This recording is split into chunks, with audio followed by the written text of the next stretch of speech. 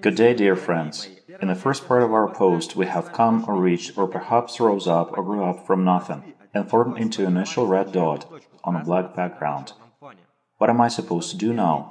How can I be alone in this endless, boundless space on a black background? To agree with me that it is somehow unfair to be alone forever in the world of black background. We need to do something about it. We need to restore justice and get multiplied. We figured out already that we're always in the center and we always see the same dimension of the same thing, which on the one hand has a small scale, but on the other hand a large one. Interesting, what can it be? On the one hand, it is infinitely small, always in the center, and on the other hand, infinitely large, it is always in the center and is divided. It is the same thing, but at the same time it is doubled and has different colors. What a mystery! To look at yourself from a distance, from depths, and to see yourself being the same. Initially, we were talking about time, past, future, and present, and about the fourth dimension, which analyzes all these three dimensions in the whole simultaneously. We realize that a geometric figure representing this initial scale is formed in the shape of a sphere.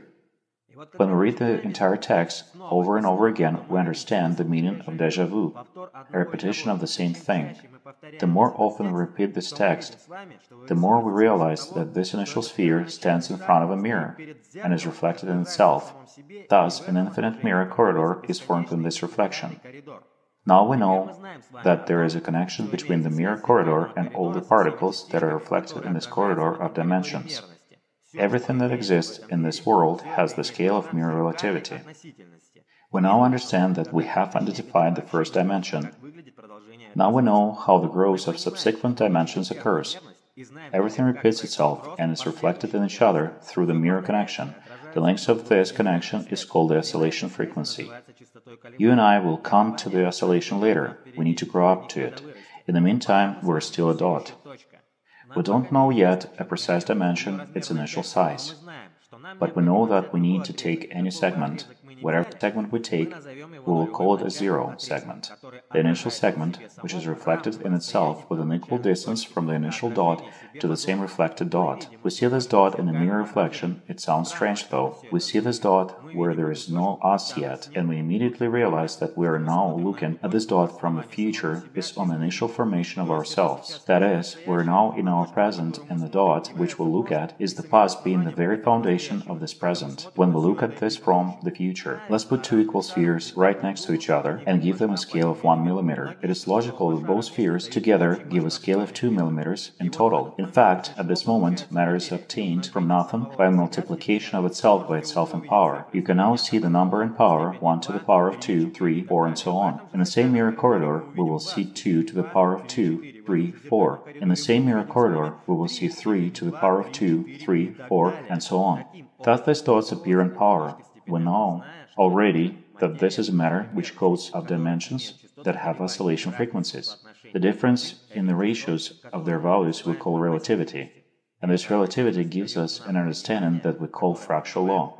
So many things arise out of nothing, clinging to each other with every step on the principle of dominoes. When one action generates another, the original particle of dimensionality creates the matter that is both inside and outside of itself. At the same time, everything can only be when it is already reflected in each other. The initial particle of dimension creates the matter that is simultaneously inside and outside of itself. At the same time, everything can only be when everything is also already reflected in each other. Thus, the original particle of nothing, which we will call ether, consists consists of two identical spheres which are repeated inside of a third sphere. We understand that the third sphere is formed and there are two equal spheres inside of it. Wait, it turns out that the third sphere is hollow, then the two original spheres are hollow too. Then what is the thickness of the membrane of the matter separating all these particles?